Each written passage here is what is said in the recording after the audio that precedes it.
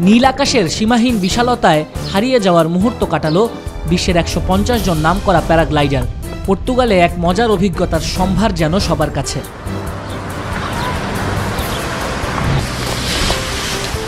জমকালো আয়োজনে পর্তুগালের মন্টেলেগ্রেতে হয়ে গেল ইউরোপিয়ান প্যারাগ্লাইডিং চ্যাম্পিয়নশিপ। জুলাই ষোলো তারিখ থেকে শুরু হয়ে আঠাশ তারিখ শেষ হয় প্রতিযোগিতার পনেরোতম আসর।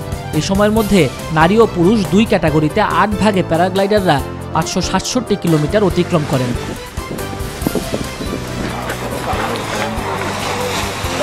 আসরে পুরুষ বিভাগে চ্যাম্পিয়ন হন গ্রেট ব্রিটেনের থিও ওয়ার্ডেন।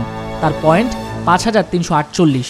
পেছনে ফেলেছেন জার্মান প্যারাগ্লাইডার টর্স্টেন সার্জেল আর ইতালির বাগিও আলবার্তো ভিতালেকে। দারুণ এনজয় করেছি। এখানে এসে খুব ভালো লাগছে। জায়গাটা দারুণ। প্রতিটা মুহূর্ত স্বপ্নের মতো ছিল। গেল দুই সপ্তাহ ঘুমাতে পারিনি। বাড়ি ফিরে ভালো ঘুম হবে। Do with a, a really nice night's sleep now there. চ্যাম্পিয়নশিপের নারী ক্যাটাগরিতে টাইটেল জিতে নিয়েছেন ফ্রান্সের ফুকুকা নেভিল। তারই স্বদেশী মেরিল ডেলফেইরি দ্বিতীয় আর তৃতীয় হয়েছেন সুইজারল্যান্ডের মার্গেলিস্ক